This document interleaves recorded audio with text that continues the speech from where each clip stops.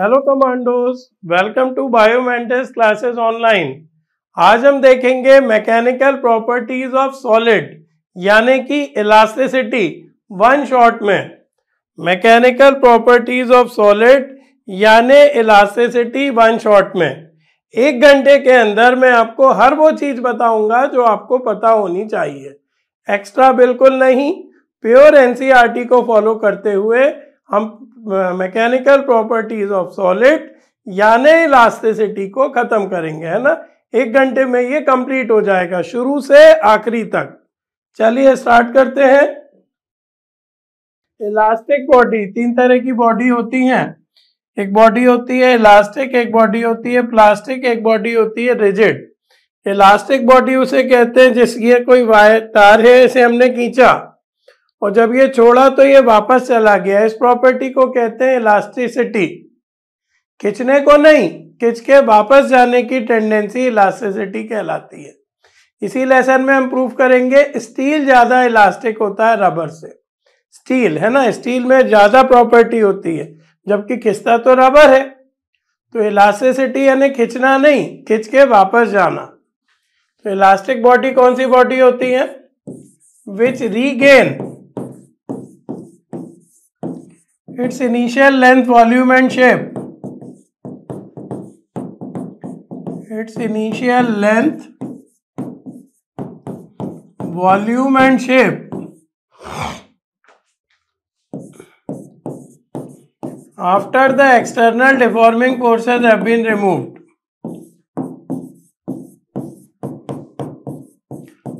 खींचने को इलास्टिसिटी नहीं कहते ध्यान रखना after the external deforming forces have been removed. ठीक है? फिर लिखो no body is perfectly elastic perfect elastic कोई नहीं है। है ना? ऐसी कोई बॉडी ही नहीं है जिसको खींच के छोड़े और वो हंड्रेड परसेंट लौट जाए। हमेशा के लिए थोड़ी बड़ी हो जाएगी। No body is perfectly elastic तो जब परफेक्टली इलास्टिक नहीं है तो किसकी बात करेंगे? मोस्ट इलास्टिक बॉडी की। तो लिखो most elastic body is quartz fibre Q U A R T Z fibre तो इलास्टिक बॉडी के बारे में आपको इतना आना चाहिए। इलास्टिक बॉडी हमने कैसे कहा? किसी ऐसी बॉडी को, जिसको जब हम खींचना छोड़ दें तो अपनी इनिशियल स्टेट पर आ जाए। जिसको जब हम खींचना छोड़ दें तो वो अपनी इनिशियल स्टेट पर आ जाए। फिर हमने लिखा परफेक्ट इलास्टिक कोई नहीं है। फिर हमने क्या लिखा परफेक्ट इलास्टिक कोई नहीं है। परफेक्ट इलास्टिक कोई नहीं है तो हम बात करेंगे मोस्ट इलास्टिक की। तो मोस्ट इलास्टिक बॉडी क्या कहलाएगी? Quartz fibre most elastic body क्या कहलाएगी बेटा? बोलेंगे कॉर्ड्स फाइबर क्लियर है? अगली हेडिंग डालेंगे प्लास्टिक बॉडी प्लास्टिक बॉडी उसे कहते हैं जो खिंच के उतनी की उतनी रह जाए। हमने खींचा बॉडी को, बढ़ी वो, और जब हमने छोड़ दिया तो अब वो वापस नहीं आना चाह रही। जितनी बड़ी थी, उतनी ही बड़ी रह गई। ठीक है बेटा? Which tends to remain plastic body किसे कहते हैं? Which tends to remain in its deformed state which tends to remain in its deformed state ये डिफॉर्म्ड स्टेट में ही रहना चाहती है even when the deforming force is removed force हमने हटा लिया तो भी even when the deforming force is removed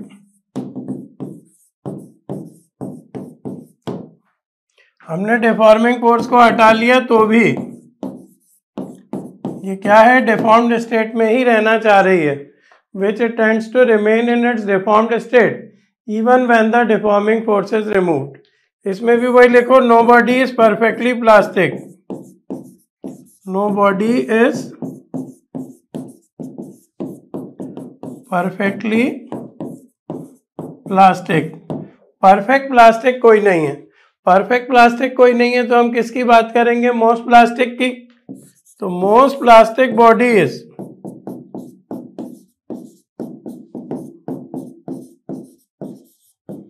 putty. Putty का नाम सुना है? एमसील टीवी पे ऐड देखा होगा। एमसील की क्या खास बात रहती है? उसको जितना बड़ा करके चिपका दो, वो उतना ही बड़ा हो जाता है। तो most plastic body is putty, और China clay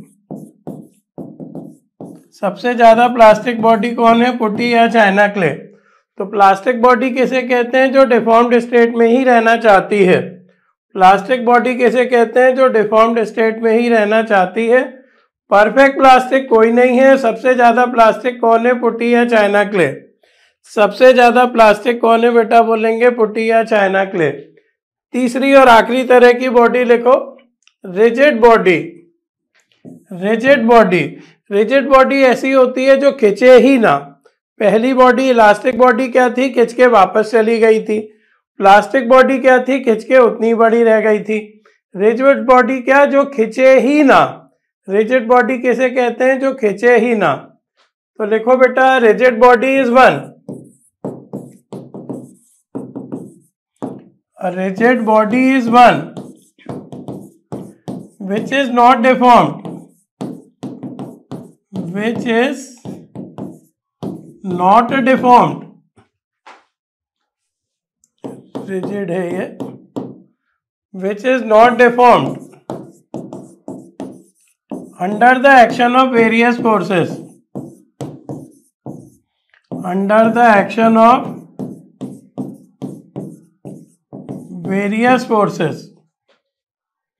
A rigid body is one which is not deformed under the action of various forces.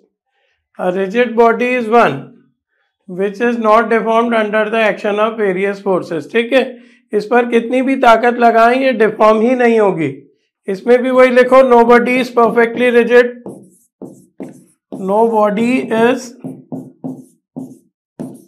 perfectly rigid perfect rigid कोई नहीं है तो हम किसकी बात करेंगे? मोस्ट रिजिड बॉडी की।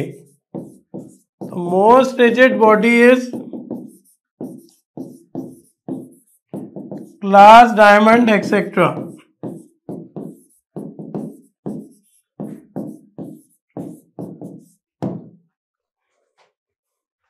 क्या लिखा है? Rigid body is one which is not deformed under the action of various forces उसके बाद क्या लिखा? परफेक्ट रिजिट कोई नहीं है। तो मोस्ट रिजिट कौन है? ग्लास हीरा etcetera glass diamond etcetera most rigid body कौन है बेटा बोलेंगे? Glass diamond etcetera rigid body कैसे कहते हैं? जो कितनी भी ताकत लगाएँ डिफॉर्म ही ना हो। तो फिर हमने क्या लिखा? परफेक्ट रिजिट कोई नहीं है तो फिर क्या होता है? सबसे ज़्यादा रिजिट कौन है? हीरा, कांच एक्सेट्रा तो पहली बॉडी क्या थी? जो खिंच के वापस चली गई थी, वो इलास्टिक बॉडी दूसरी बॉडी क्या थी? जो खिंच के जितना हमने कह रहा था उतनी ही रह गई थी, वो क्या कहलाई? प्लास्टिक बॉडी और तीसरी बॉडी क्या है जो खिंचे ही नहीं? ऐसी बॉडी क्या कहलाती है? रिजिड बॉडी ऐसी बॉडी क्या कहलाती है? रिजिड बॉडी बहुत ध्यान से नोट्स बनाना। 40 45 मिनट्स में आपको पूरा लेसन बताया जाएगा। अगला लिखो है स्ट्रेस एंड इट्स टाइप्स होता क्या है? कोई बॉडी है, इसे हम खींच रहे हैं। खींच रहे हैं तो ये नीचे आएगी। और जब इसे छोड़ देंगे तो ये ऊपर जाएगी। तो सवाल उठता है, नीचे क्यों आ रही थी ये बॉडी? क्योंकि हम खींच रहे थे। ऊपर क्यों जा रही है? तो ये माना जाता है, इसमें अंदर कुछ इंटरनल फोर्स आ गए। इसमें अंदर कुछ इंटरनल फोर्स आ गए जो बॉडी को खींच के वापस ले जा रहे हैं। ये फोर्स कहाँ काम कर रहे हैं? ये फोर्स इतने एरिया पर काम कर रहे हैं। इस एरिया को कहते हैं एरिया ऑफ़ क्रॉस सेक्शन ये जो फोर्स है इंटरनल फोर्स कहाँ काम कर रहे हैं? इतने एरिया पर काम कर रहे हैं। तो इन, इस एरिया को क्या कहा जाता है? एरिया ऑफ़ क्रॉस सेक्शन और जो इंटरनल फोर्स है, उसे कहा जाता है रीस्टोरिंग फोर्स तो restoring force upon area of cross section को क्या कहा जाता है? स्ट्रेस स्ट्रेस को कैसे डिफाइन किया? Restoring force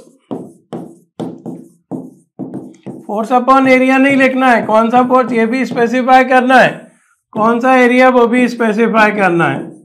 Upon area of cross section. इसको कहते हैं stress.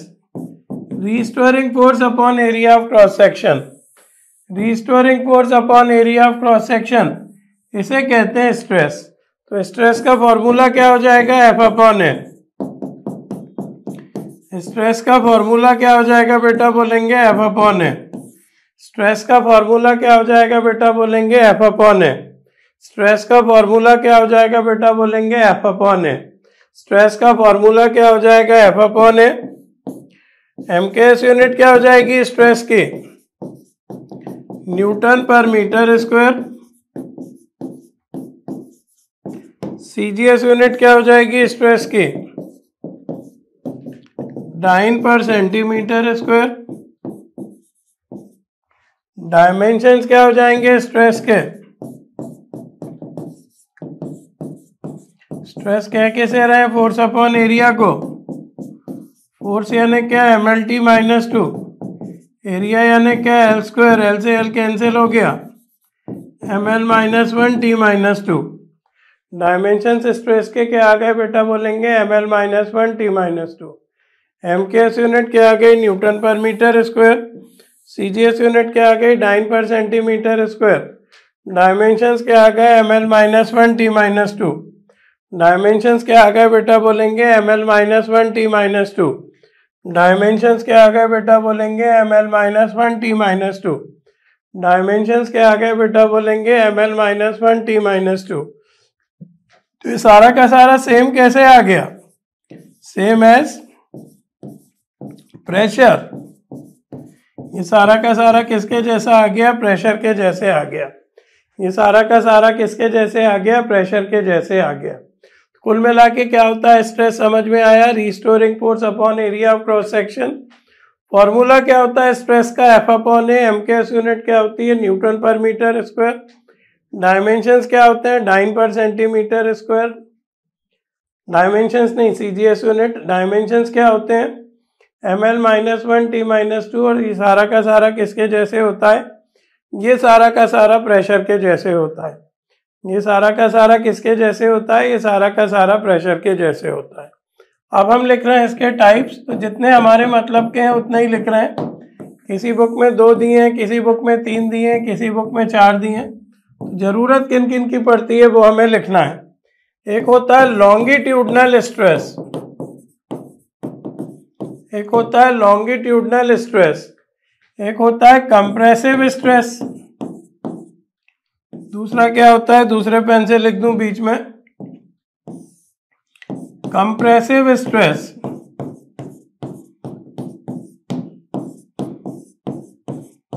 और एक होता है शीयर स्ट्रेस एक और क्या होता है बेटा बोलेंगे?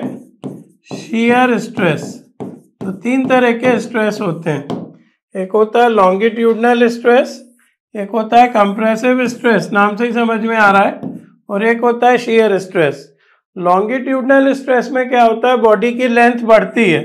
किसी भी तार को हम खींचे और कुछ इस तरह से खींचें कि उसकी लेंथ बढ़े तो जो स्ट्रेस इंड्यूस होगी, वो कहलाएगी लॉन्गिट्यूडनल स्ट्रेस लॉन्गिट्यूडनल स्ट्रेस में क्या होता है? Length of body increases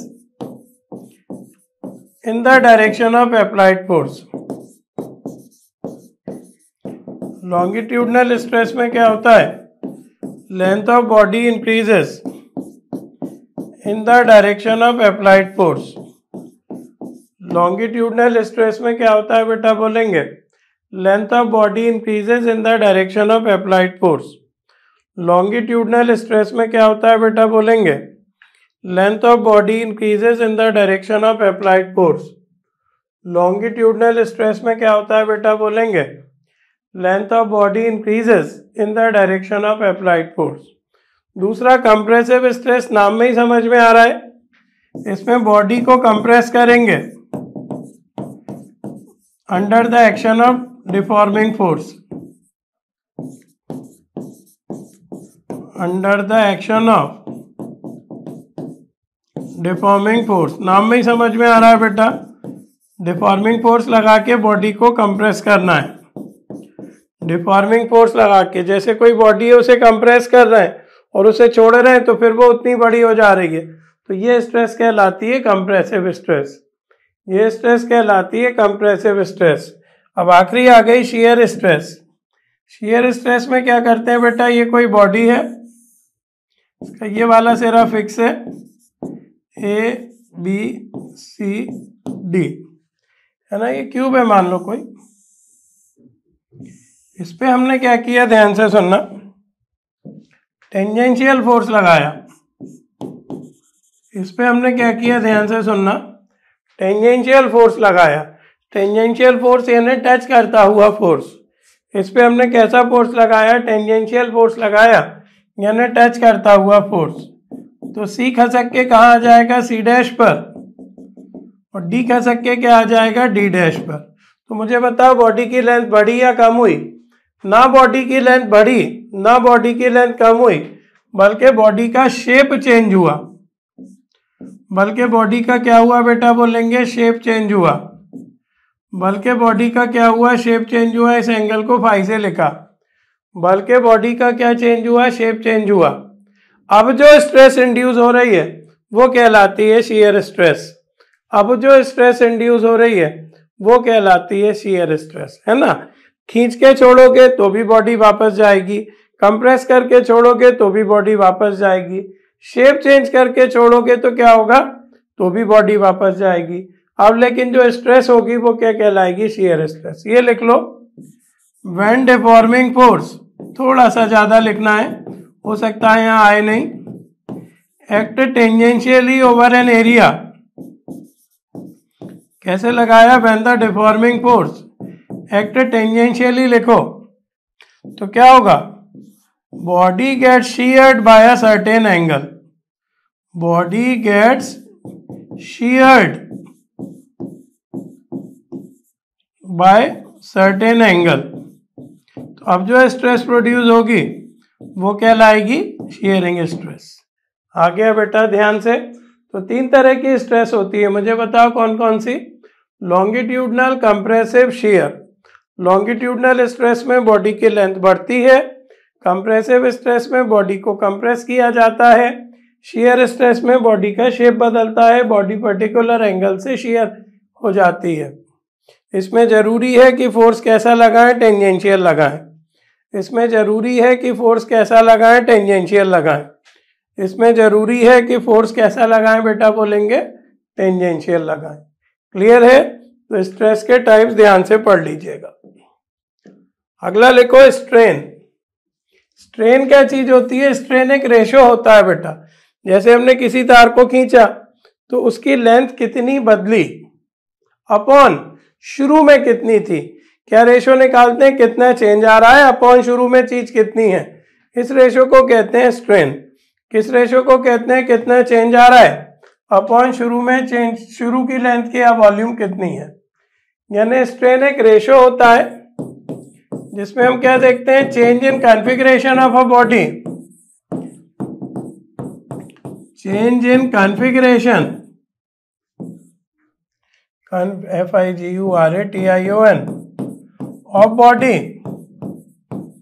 upon initial configuration of body कितना चेंज आया? Upon initial configuration of body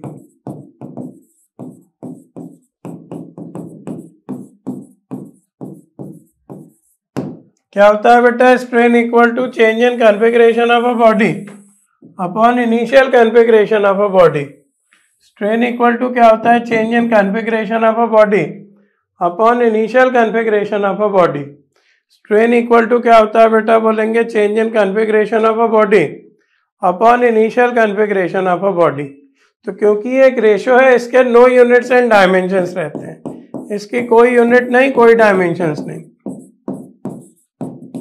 no units and dimensions इसकी ना तो कोई यूनिट होगी, याद रखिएगा, ना कोई डायमेंशन होगी।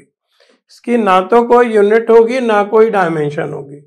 इसकी ना तो कोई यूनिट होगी, याद रहेगा, ना कोई डायमेंशन होगी। तो क्या लिख रहे हैं? नो यूनिट्स एंड डायमेंशंस अब ये भी तीन तरह क्या होता है। ये भी तीन तरह का होता है टाइप्स पीछे लिख रहा हूँ। स्ट्रेन होता क्या है? एग्जैक्टली समझ में आ गया? कितना चेंज आया अपॉन शुरू में कितना था? इस रेशो को कहते हैं स्ट्रेन कितना चेंज आया अपॉन शुरू में बॉडी कितनी थी? इस रेशो को कहते हैं स्ट्रेन ये भी तीन तरह की होती है। एक होती है लॉन्गिट्यूडनल स्ट्रेन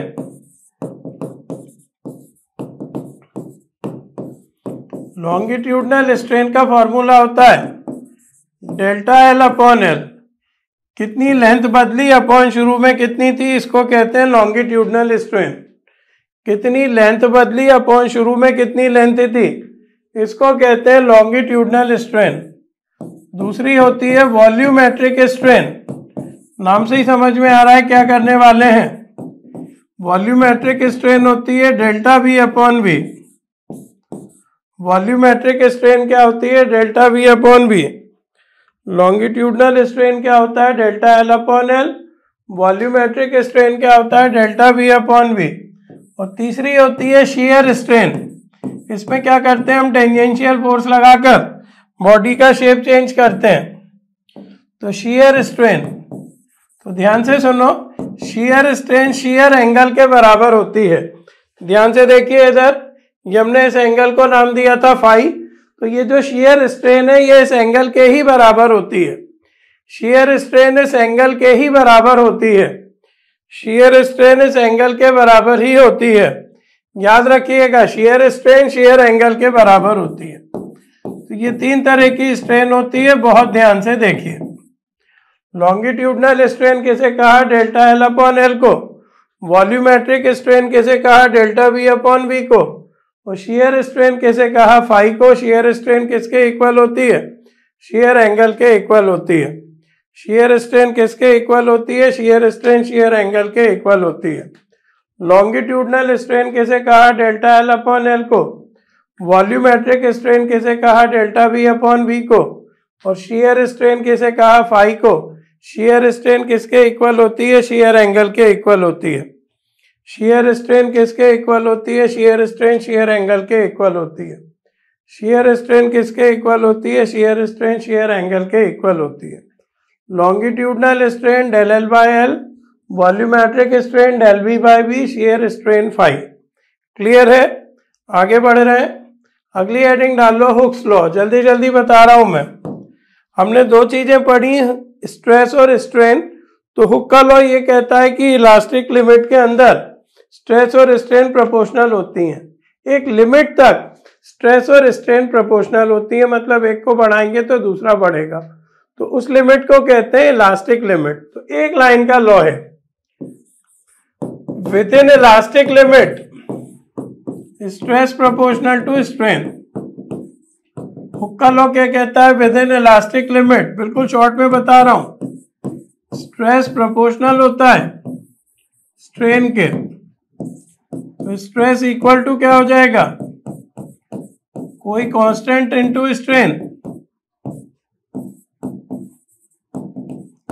तो स्ट्रेस अपॉन स्ट्रेन क्या हो जाएगा? कांस्टेंट तो कांस्टेंट को लिखते हैं ई e से। कांस्टेंट को किससे लिखते हैं? ई e से। ई e को नाम देंगे और साइड में ग्राफ भी बना लेंगे। साइड में ग्राफ भी बना लेंगे। इस एक्सेस पे हमने स्ट्रेन ली। इस एक्सेस पे हमने स्ट्रेस ली। तो एक लिमिट तक ग्राफ सीधा आएगा, उसके बाद टेढ़ा हो जाएगा। तो उस लिमिट को ही क्या कहते हैं? Elastic limit. उस लिमिट को ही क्या कहते हैं? Elastic limit. उस लिमिट को ही क्या कहते हैं? इलास्टिक लिमिट ई को नाम दो। ई कहलाता है any constant called modulus of elasticity of a material क्या कहलाता है? Modulus of elasticity of a material E क्या कहलाता है? Any constant called modulus of elasticity of a material E क्या कहलाता है? Any constant called modulus of elasticity of a material अब देखो स्ट्रेस की यूनिट होती है स्ट्रेन की कोई यूनिट नहीं होती। तो जो मॉड्यूलस ऑफ़ इलास्टिसिटी है, उसकी यूनिट स्ट्रेस जैसी होगी। और स्ट्रेस की कैसी होती है? प्रेशर के जैसी। तो तीन लोगों के यूनिट डायमेंशन सेम आ गए। प्रेशर स्ट्रेस और modulus of elasticity modulus of elasticity का क्यों होगा सेम क्योंकि स्ट्रेन के तो होते नहीं है कुछ। तो क्या लिखा ई e को क्या नाम दिया? Any constant called modulus of elasticity of a material आगे लिखो its units and dimensions are same its units and dimensions are same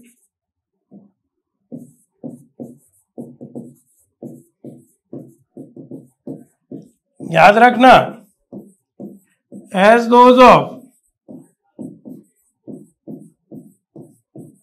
pressure और स्ट्रेस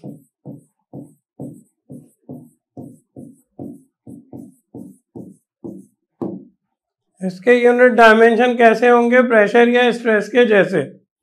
इसके यूनिट डायमेंशन कैसे होंगे? प्रेशर या स्ट्रेस के जैसे। इसके यूनिट डायमेंशंस कैसे होंगे? प्रेशर या स्ट्रेस के जैसे। ई को क्या नाम दिया? Modulus of elasticity of a material इसके यूनिट डायमेंशन कैसे होंगे? प्रेशर या स्ट्रेस के जैसे। ई को क्या नाम दिया? Modulus of elasticity of a material इसके यूनिट डायमेंशन कैसे होंगे? प्रेशर या स्ट्रेस के जैसे। ई को क्या कहा? Modulus of elasticity of a material इसके यूनिट डायमेंशन कैसे होंगे बेटा बोलेंगे? प्रेशर या स्ट्रेस के जैसे। याद रहेगा? ये हो गया हुक्स लॉ जो क्या कहता है स्ट्रेस प्रोपोर्शनल है स्ट्रेन के। अब ध्यान से सुनना आगे की चीज़ें। एक बार हम पहली वाली स्ट्रेस और पहली वाली स्ट्रेन लेंगे। पहली वाली क्या मैंने टाइप्स में जो लिखवाया, उसमें पहली वाली। पहली वाली स्ट्रेस और पहली वाली स्ट्रेन ले लो। तो कांस्टेंट को लिखो y से। फिर दूसरी वाली स्ट्रेस या दूसरी वाली स्ट्रेन ले लो। तो कांस्टेंट को लिखो के से। और फिर तीसरी वाली स्ट्रेस और तीसरी वाली स्ट्रेन ले लो। तो कांस्टेंट को लिखो ईटा से। सारे सवाल इसी पे बनते हैं। अगली हेडिंग डालना। डिफरेंट इलास्टिक कांस्टेंट से नोक्स लॉ बहुत ध्यान से। वो एक स्लाइड में ही मैं बता दे रहा हूँ। पहली बार क्या करो? वही तीन चीज़ें बनाएँगे हम।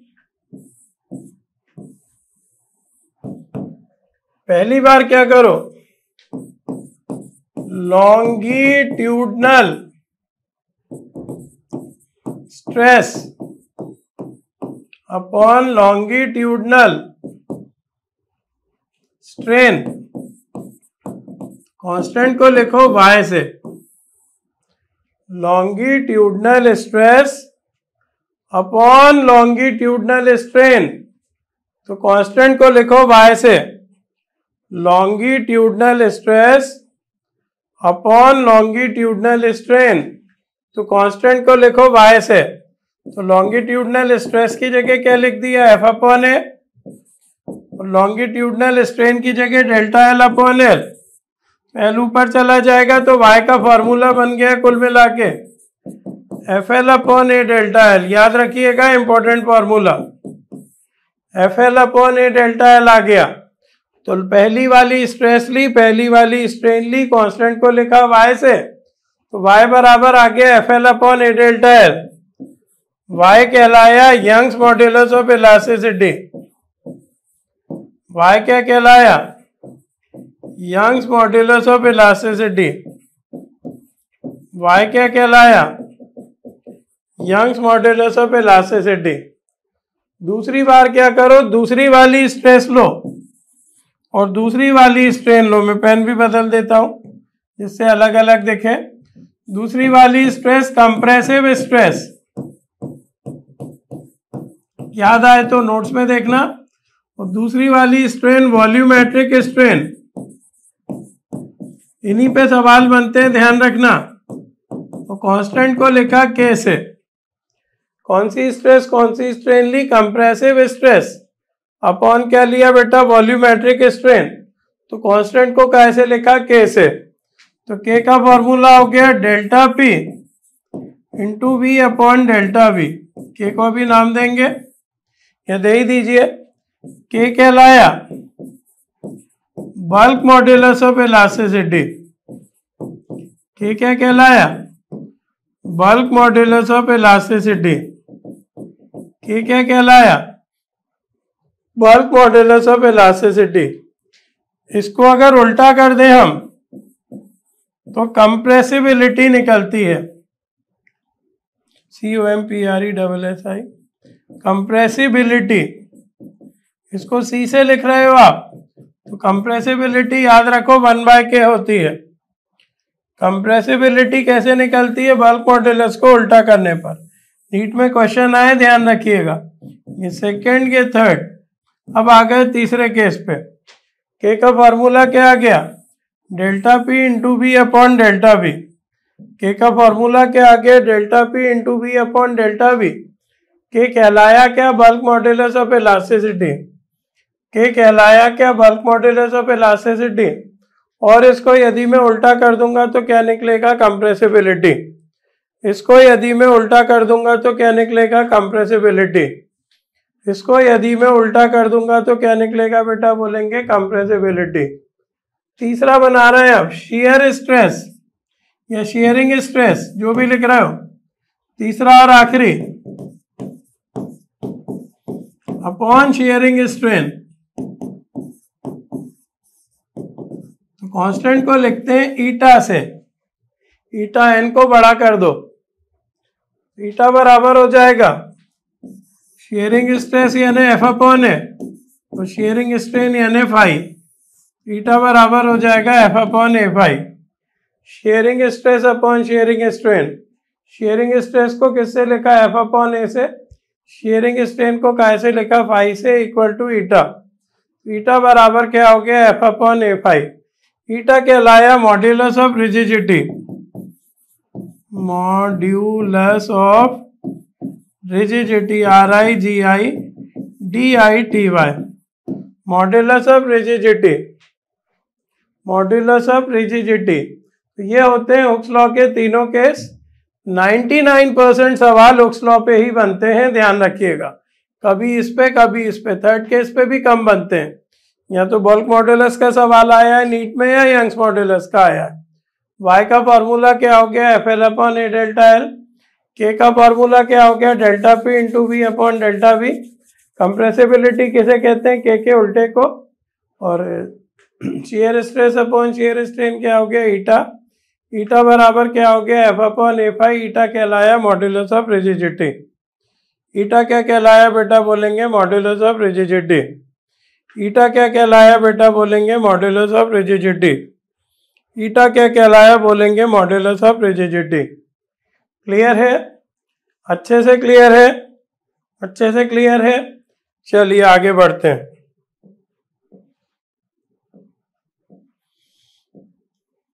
Work done in stretching wire बहुत इंपॉर्टेंट कंसेप्ट तो हो क्या रहा है? ये मेरे पास एक तार है। इसको मैं खींच रहा हूँ। इसको मैं खींच रहा हूँ तो मुझे काम करना पड़ेगा। कितना?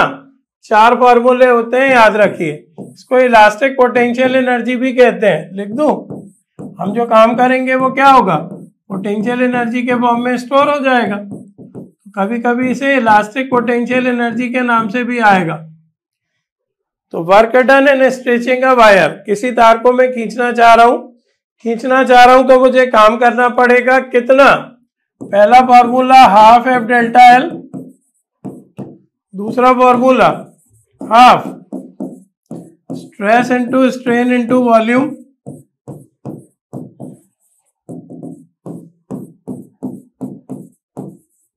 तीसरा formula half strain square into Y into volume चौथा और आखिरी formula half stress square upon Y into volume ये चार फॉर्मूले होते हैं बेटा। पहला फॉर्मूला क्या होता है? हाफ़ एफ़ डेल्टा एल दूसरा क्या होता है? हाफ़ स्ट्रेस स्ट्रेन वॉल्यूम तीसरा क्या होता है? Half strain square into Y into volume तीसरा क्या होता है? Half strain square into Y into volume चौथा क्या होता है? Half stress square upon Y into volume जल्दी से याद कीजिए। पहला क्या है? हाफ़ एफ़ डेल्टा एल दूसरा क्या है? हाफ़ स्ट्रेस स्ट्रेन वॉल्यूम तीसरा क्या है? Half strain square into Y into volume चौथा क्या है? Half stress square upon Y into volume चौथा क्या है? Half stress square upon Y into volume चौथा क्या है? Half stress square upon Y into volume पहला क्या है? Half stress strain half F delta L दूसरा क्या है? हाफ़ स्ट्रेस स्ट्रेन वॉल्यूम तीसरा क्या है? Half strain square into Y into volume चौथा क्या है? Half stress square upon Y into volume अच्छा वाई का एक केस ये भी याद रखिएगा। जैसे दो अलग अलग तार हैं। दो अलग अलग तार हैं अलग अलग पेनों से बनाता हूँ। और वो सीरीज़ में कुछ इस तरह से जुड़े एक का यंग्स है वाई वन दूसरे का यंग्स है वाई टू तो वाई नेट कितना ले लेंगे? Two Y one Y two याद रखना, upon Y one plus Y two Y net कितना ले लेंगे? Two Y one Y two upon Y one plus Y two और तार अगर ऐसे जुड़े हो एक तार ये है और एक तार ये है। ना? यहाँ हम लोड लटका रहे हैं। इसका y कितना है? वाई वन इसका कितना है? वाई वाई टू तो y नेट होगा, याद रखिएगा। y1 plus Y two by two तो फिर y नेट कितना होगा बेटा बोलेंगे? y1 plus Y two by two तो सीरीज़ में अगर तार जुड़े हो तो two Y one Y two upon Y one plus Y two और पैरेलल में अगर तार जुड़े हो तो Y one plus Y two by two कुल मिला के मेन टारगेट तो ये है वर्क के चार फॉर्मूले ध्यान रहेंगे? चलिए, आगे बढ़ते हैं. Stretching of a wire under its own weight stretching of a wire under its own weight stretching of a wire under its own weight होता क्या है बेटा कभी कभी तार मैंने लटका दिया ये। तो ये अपने ही वज़न से, आपने देखा होगा कोई रॉड रखते हैं तो टेढ़ी हो जाती है। क्यों? अपने ही वेट के कारण। है ना? रॉड का वेट कहाँ काम करता है? नीचे। कितना होता है? एम जी ये कोई तार है ये लटका हुआ है? तो ये अपने ही वेट से कुछ बढ़ जाएगा। तार की लेंथ मान लेते हैं एल तो ये अपने ही वेट से कुछ बढ़ जाएगा, क्योंकि जो इसका वेट है वो सेंटर पे काम करेगा। कितना एम जी जो इसका वेट है, वो सेंटर पे काम करेगा एम जी हम नहीं खींच रहे। ये अपने ही वज़न के कारण बढ़ जा रहा है। सवाल उठता है, कितना? तो फोर्स का फॉर्मूला लगाया एम जी मास की जगह लिखा density into volume into G mass को कैसे हटा सकते हैं? फोर्स का फॉर्मूला एम जी मास को हटा दो। मास की जगह लिखा density into volume into G volume को हटा दो एरिया इंटू लेंथ से। तो एरिया इंटू लेंथ की जगह एल बाय टू लिखना है, बस ये ध्यान रखो। लेंथ बाय टू क्यों लिखना है? जो वेट है बेटा वो यहाँ काम करेगा ठीक बीच में। वेट कहाँ काम करेगा? ठीक बीच में। तो जब वेट की बात करेंगे तो लेंथ कितनी लेंगे? आधी। वेट कहाँ काम करेगा? ठीक बीच में। है ना? यहाँ काम करेगा। यहाँ काम करेगा सेंटर ऑफ़ मास पे। या सेंटर ऑफ़ ग्रेविटी पे काम करेगा वेट तो लेंथ कितनी लेंगे? आधी। बस अब कोई दिक्कत नहीं है। y बराबर क्या होता है? F L upon A delta L मुझे डेल्टा एल निकालना है कि तार कितना खींचा? तो ये हो जाएगा F L upon A Y force F L upon A Y F Y upon A Y नहीं। F L upon A Y force की जगह ये लिख दो। Rho A L by two और जी दिख रहा हो तो into L upon A Y ये मैंने क्या किया? फोर्स की जगह फोर्स की वैल्यू डाली। ये मैंने क्या किया? फोर्स की जगह फोर्स की वैल्यू डाली, है ना? ये फोर्स की जगह फोर्स की वैल्यू डाली। ए से ए कैंसिल हो गया। आ गया rho G L square by two Y तार अपने ही वज़न के कारण इतना बढ़ जाता है। Rho G L square by two Y कैसे आया देखो? Rho G L square by two Y कैसे आया देखो? इसका वेट कहाँ काम करेगा? तार का नीचे कितना एम जी मास की जगह क्या लिखा है? Density into volume into G volume की जगह क्या लिखा है? एरिया इंटू आधी लेंथ आधी लेंथ क्यों? क्योंकि वेट जो है सेंटर पे काम करता है। बस फोर्स की जगह फोर्स की वैल्यू डाल के डेल्टा एल निकाला। कितना आ गया? Rho G L square by two by कितना आ गया? अपने ही वज़न के कारण तार कितना बढ़ जाता है? Rho G L square by two Y clear है? आगे बढ़ते हैं। अगली हेडिंग डालो पॉइजन लॉ अगली हेडिंग डालो पॉइजन लॉ होता क्या है बेटा? एक साइंटिस्ट थे पॉइजन उनने तार को खींचा। तो तार की शुरू वाली लेंथ कितनी मान लेते हैं हम? एल और तार का शुरू वाला डायमीटर कितना मान लेते हैं? डी अब तार खींचेगा तो तार की लेंथ बढ़ेगी। बिल्कुल ठीक बात। लेंथ बढ़कर कितनी हो गई? L plus del L length बढ़कर कितनी हो गई बेटा, बोलेंगे? एल प्लस डेल एल तो जब लेंथ बढ़ेगी, ध्यान से सुनना तो डायमीटर कम होगी। तार पतला भी तो होता है। तो डायमीटर घटकर कितना हो गया? डी माइनस डेल्टा डी तो अभी तक साइंटिस्ट लोग सिर्फ़ लेंथ का बढ़ना देख रहे थे। इनने लेंथ के बढ़ने के साथ साथ डायमीटर का कम होना भी देखा।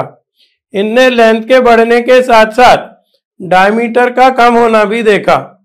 इनने लेंथ के बढ़ने के साथ साथ डायमीटर का कम होना भी देखा। तो एक इन्होंने स्ट्रेन निकाली लेटरल स्ट्रेन कौन सी स्ट्रेन निकाली? Lateral strain. लेटरल स्ट्रेन यानी change in diameter upon initial diameter lateral strain किसे कहा इन्होंने मुझे बताओ?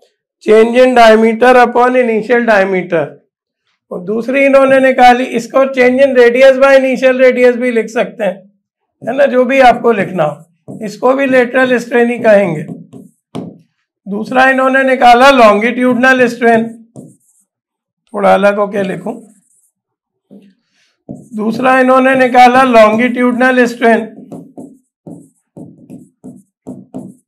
लॉन्गिट्यूडनल स्ट्रेन तो हम जानते हैं डेल्टा एल अपॉन एल और फिर एक लॉ दिया कि lateral strain upon longitudinal strain हमेशा कांस्टेंट रहता है। लेटरल स्ट्रेन कैसे कहा? डेल्टा डी अपॉन डी को। लॉन्गिट्यूडनल स्ट्रेन कैसे कहा? डेल्टा एल अपॉन एल को। लॉ क्या दिया? Lateral strain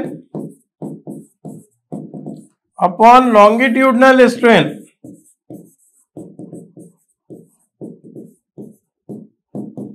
ये हमेशा कांस्टेंट रहता है। लॉ क्या दिया बेटा बोलेंगे? Lateral strain upon longitudinal strain ये हमेशा कांस्टेंट रहता है। क्या हो जाएगा? डेल्टा डी अपॉन डी ऐसा लिख देता हूँ। Upon delta L upon L तो कांस्टेंट को लिखा सिग्मा से।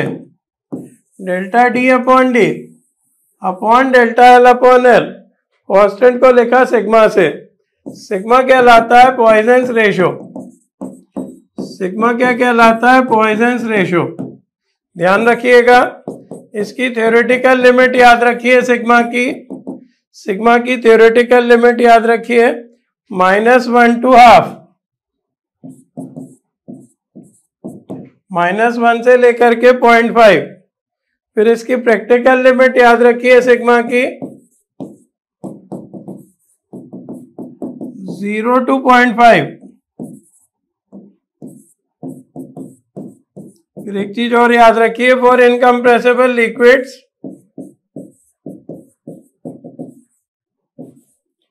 जो तपती नहीं है liquids for incompressible liquids sigma की वैल्यू याद रखो point five for incompressible substances लिख दो लिक्विड्स नहीं। फॉर इनकम्प्रेसिबल सब्सटेंसेस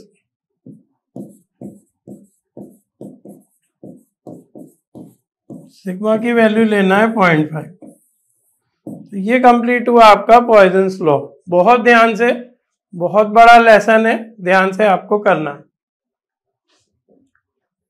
क्या हुआ? लेटरल स्ट्रेन कैसे कहा? डेल्टा डी अपॉन डी को। लॉन्गिट्यूडनल स्ट्रेन कैसे कहा? डेल्टा एल अपॉन एल को। तो पॉइजन का लॉ क्या कहता है? Lateral strain upon longitudinal strain equal to constant तो क्या फार्मूला बना? Delta D upon D upon delta L upon L equal to sigma sigma क्या कहलाया? पॉइजन रेशियो थेरेटिकल लिमिट होती है minus one to point five practical limit होती है zero to point five incompressible substances के लिए sigma होता है पॉइंट फाइव बहुत बहुत बहुत ध्यान से नोट्स बनाइएगा। आगे बढ़ रहे देखो, हमारे पास कई सारे इलास्टिक कॉन्स्टेंट्स आ गए हैं। सबसे पहले आ गया है वाई वाई यानी यंग्स मॉड्यूलस ऑफ़ इलास्टिसिटी। फिर आ गया के के यानी बल्क मॉड्यूलस ऑफ़ इलास्टिसिटी फिर आ गया ईटा। ईटा यानी मॉड्यूलस ऑफ़ रिजिडिटी फिर आ गया सिग्मा सिग्मा यानी पॉइजन रेशो तो इन सारे इलास्टिक कॉन्स्टेंट्स में कुछ ना कुछ रिलेशन होते हैं। हेडिंग क्या डाली है? Relation between various elastic constants पहला होता है y बराबर टू ईटा ब्रैकेट में वन प्लस सिग्मा अब सबका मीनिंग पता होना चाहिए। दूसरा होता है वाई बराबर three K one minus two sigma तीसरा होता है वाई बराबर nine K eta upon, eta plus three K. चौथा होता है सिग्मा बराबर। Three K minus two eta upon, six K plus two eta. याद कीजिए, ये क्या है relation between various elastic constants पहला क्या है, y बराबर टू ईटा, ब्रैकेट में वन प्लस सिग्मा। दूसरा क्या है, y बराबर three K, one minus two sigma. तीसरा क्या है? वाई बराबर nine K eta upon eta plus three K. चौथा क्या है? सिग्मा बराबर three K minus two eta upon six K plus two eta Y क्या लाता है? Young's modulus of elasticity. पता ही है ये तो। क्या लाता है? Bulk modulus of elasticity.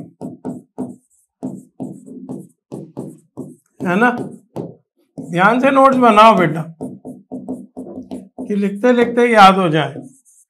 ईटा कहलाता है मॉड्यूलस ऑफ़ रिजिडिटी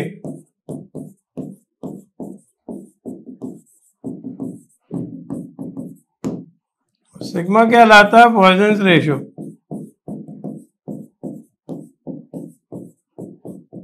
पहला क्या है? वाई बराबर टू ईटा ब्रैकेट में वन प्लस सिग्मा वाई बराबर three K one minus two sigma Y बराबर nine K eta upon eta plus three K और सिग्मा बराबर three K minus two eta upon six K plus two eta याद रहेगा? याद रहेगा? चलिए आगे बढ़ते हैं।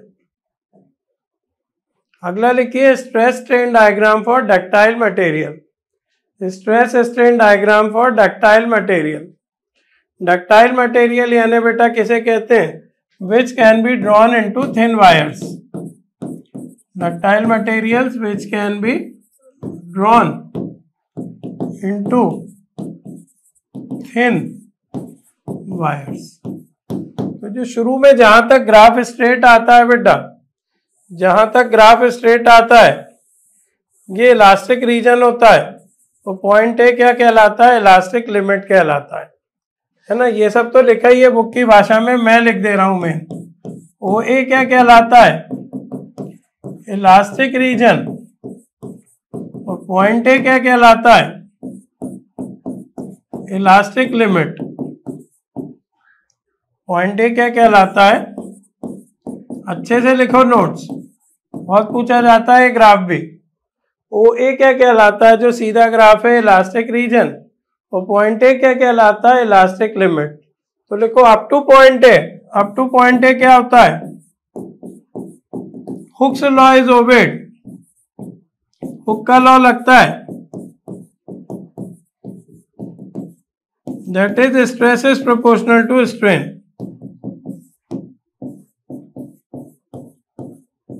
तो ये पहला पॉइंट लिखो। ओ ए क्या कहलाया? इलास्टिक रीजन और पॉइंट ए क्या कहलाया? इलास्टिक लिमिट ओ ए क्या कहलाया? इलास्टिक रीजन और पॉइंट ए क्या कहलाया? Elastic limit up to point A क्या होता है? हुक का लॉ लगता है। यानी क्या?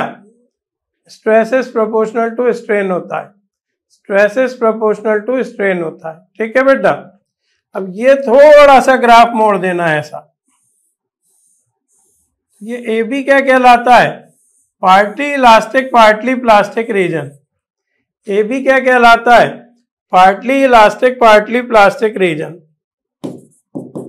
A भी क्या कहलाता है? Partly elastic partly plastic region.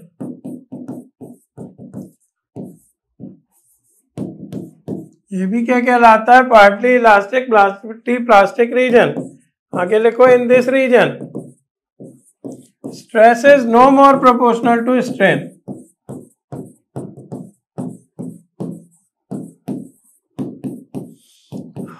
इस रीजन में क्या होता है? स्ट्रेस स्ट्रेन के प्रोपोर्शनल नहीं रहती है। तभी ग्राफ थोड़ा सा मुड़ गया है। In this region stress is no more proportional to strain third point लिखवा रहा हूँ। ये देखो, ये ग्राफ जा रहा है अब नीचे। ये कहलाता है प्लास्टिक रीजन। इस रीजन में कम ताकत लगाकर तार को ज़्यादा खींचा जा सकता है। होता क्या है बेटा? जैसे ये तार है, इसे शुरू में खींचने में दिक्कत आएगी। एक बार ये खींचने लगे, फिर ये आसानी से खिंचता रहेगा। तो इस रीजन में यही हो रहा है। कम ताकत लगाकर भी आप तार को खींच सकते हो। बीसी क्या कहलाता है? Plastic reason. बीसी क्या कहलाता है? प्लास्टिक रीजन इस रीजन की क्या खास बात होती है? इट शोज़ मोर स्ट्रेन इसमें स्ट्रेन ज़्यादा मिलती है, तार ज़्यादा खिंचता है विद लिटिल और no stress with little or no stress. It shows more strain. With little or no stress. BC region में घुस गए तो क्या होगा? कम ताकत लगाकर आप तार को ज़्यादा खींच सकते हो। बीसी रीजन में घुस गए तो क्या होगा? कम ताकत लगाकर आप तार को ज़्यादा खींच सकते हो। बीसी रीजन में घुस गए तो क्या होगा? कम ताकत लगाकर आप तार को ज़्यादा खींच सकते हो। क्लियर है बेटा? तो सी कहलाता है लोअर यील्ड स्ट्रेस पॉइंट ये सब फालतू के पॉइंट है। सी क्या कहलाया? लिख लेते हैं, चलो। Lower yield stress point point C क्या कहलाता है? ये फालतू की चीज़ें हैं bookish language lower yield stress point हाँ बेटा। अगर हम सी तक पहुँच गए तो अब हम समझ गए कि तार डक्टाइल है, अब ये नहीं टूटेगा बहुत देर तक। तो हमने क्या किया? फिर से ताकत बढ़ाई। फिर से हमने ताकत बढ़ाई। तो हमें पतले पतले तार मिलने लगे। फिर से हमने ताकत बढ़ाई तो पतले पतले तार मिलने लगे। तो जो मैक्सिमम स्ट्रेस हमने अप्लाई की वो कहलाती है अल्टीमेट स्ट्रेस पॉइंट फिर हमने थोड़ा सा ताकत कम की। क्यों? क्योंकि तार जब खिंचता है तो फिर ताकत कम करने पे भी खिंचता है। और अल्टीमेटली ई पर आकर तार टूट गया। और अल्टीमेटली ई पर आकर तार टूट गया। पांचवा पॉइंट लिखो। On increasing stress beyond C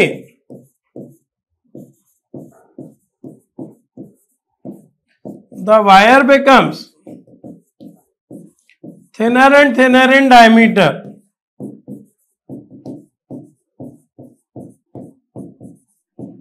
wire पतला पतला होने लगा बेटा।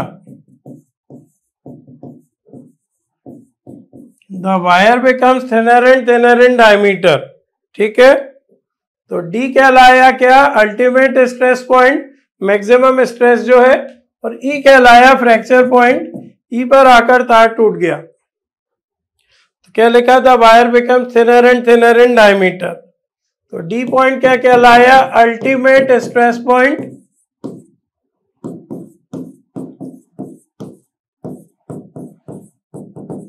और ई क्या कहलाया? ब्रेकिंग पॉइंट ई पर आकर तार टूट गया। ई पर आकर तार टूट गया तो डक्टाइल का ग्राफ ऐसा आता है। बहुत ध्यान से देखिएगा, मैंने काफ़ी समझाने की कोशिश की है। शुरुआत में क्या हो रहा है इलास्टिक रीजन है पॉइंट ए क्या कहला रहा है इलास्टिक लिमिट इसके बाद ये है partly elastic partly plastic region ये है प्लास्टिक रीजन इसमें कम ताकत लगाकर आप ज़्यादा स्ट्रेस प्रोड्यूस कर सकते हो। सी के बाद आपने ताकत बढ़ाई तो तारा क्या होने लगा, पतला होने लगा। और अल्टीमेटली ई पर आकर तार टूट गया।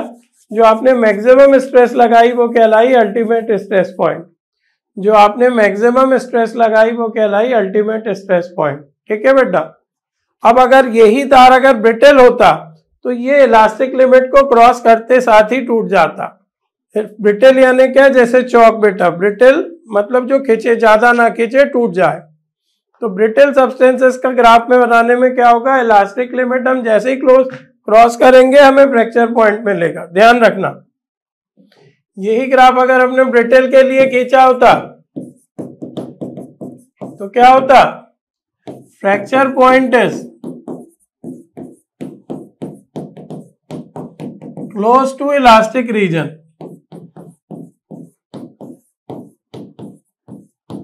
या close to elastic limit. Brittle में क्या होता है? मेन पॉइंट याद रखना कि जो फ्रैक्चर पॉइंट है, क्लोज टू इलास्टिक लिमिट होता है। और एक होते हैं बेटा इलास्टोमर्स। इलास्टोमर्स जैसे रबर। रबर की क्या खास बात होती है? कम ताकत लगाकर हम इसे ज़्यादा खींच सकते हैं। तो ये इलास्टोमर्स होते हैं। तो जिसमें ऐसा कोई ग्राफ जिसमें ये दिख रहा हो कि कम ताकत लगाकर हम ज़्यादा स्ट्रेन प्रोड्यूस कर रहे हैं, वो निश्चित ही इलास्टोमर्स का ग्राफ होगा। इलास्टोमर्स कैसे कहते हैं? More strain can be produce with little stress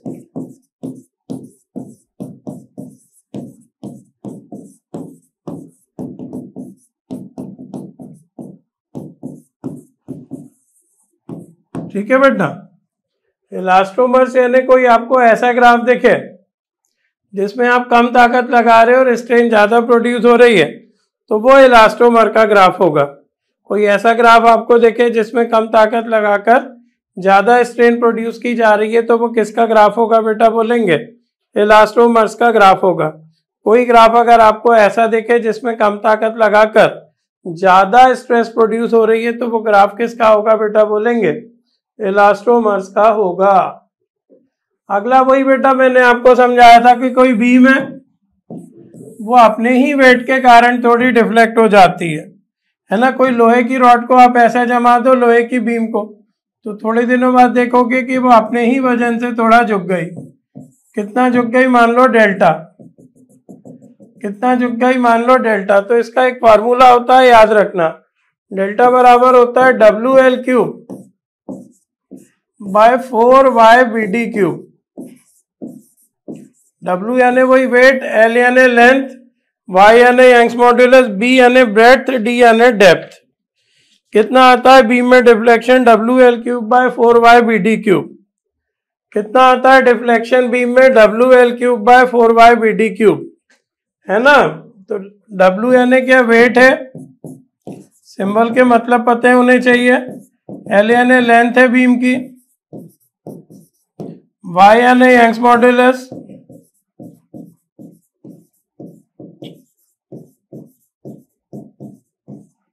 B यानी ब्रेथ डी यानी डेप्थ तो किसी बीम में कितना डिफ्लेक्शन आ जाता है अपने ही वज़न के कारण? W L cube by four Y B D cube किसी बीम में कितना डिफ्लेक्शन आ जाता है अपने ही वेट के कारण? W L cube by four Y B D cube clear है? अगला है फैक्टर्स अफेक्टिंग इलास्टिसिटी इलास्टिसिटी हम कैसे कैसे बदल सकते हैं? तो पहला यही है बेटा इलास्टिसिटी जो होती है, पहला लिखो टेम्परेचर देखो शॉर्ट में याद रखो टेम्परेचर अगर बढ़ाएँगे तो इलास्टिसिटी कम होगी। टेम्परेचर अगर बढ़ाते हैं तो इलास्टिसिटी कम होती है। पहला फैक्टर क्या है? टेम्परेचर टेम्परेचर बढ़ाएँगे तो इलास्टिसिटी कम होगी। दूसरा है इम्प्यूरिटी तो इंक्रीज करती है इम्प्योरिटी मिलाने से।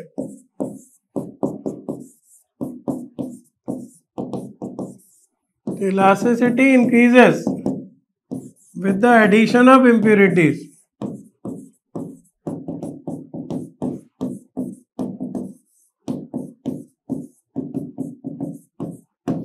impurity लाने पे इलास्टिसिटी बढ़ती है। Elasticity increases with the addition of impurities ये हो गया फैक्टर्स अफेक्टिंग इलास्टिसिटी ध्यान रखिएगा। टेम्परेचर बढ़ाएँगे तो इलास्टिसिटी कम होगी और इम्प्यूरिटी में क्या होगा? इलास्टिसिटी बढ़ेगी इम्प्यूरिटी लाने पर। इलास्टिसिटी इम्प्यूरिटी लाने पर बढ़ेगी। क्लियर है? मेरे हिसाब से कंप्लीट हुआ। आप हाँ तो ये आपका इलास्टिसिटी वन शॉट में समझिए, खत्म हुआ। एक दिन में आपका इलास्टिसिटी खत्म हुआ है। क्लियर है? बहुत ध्यान से इसे कीजिएगा। क्या क्या पढ़ना है? याद रहेगा? Elastic body plastic body rigid body stress पढ़ना है स्ट्रेन पढ़ना है हुक्स लॉ पढ़ना है हुक्स लॉ के तीनों केसेस पढ़ना है। तार को खींचने में किया गया काम पढ़ना है। तार अपने ही वज़न से कितना खिंच जाता है पढ़ना है। पॉइजन लॉ पढ़ना है, जो वेरियस कॉन्स्टेंट है उनमें रिलेशन पढ़ना है। ठीक है? बीम में कितना डिफ्लेक्शन होता है वो पढ़ना है फैक्टर्स अफेक्टिंग इलास्टिसिटी पढ़ना है। तो ये सब आप बहुत ध्यान से कीजिएगा। मैक्सिमम चीज़ें आपको एक ही बार में बता दी गई हैं। चलिए, मिलते हैं नेक्स्ट लेक्चर में। Good bye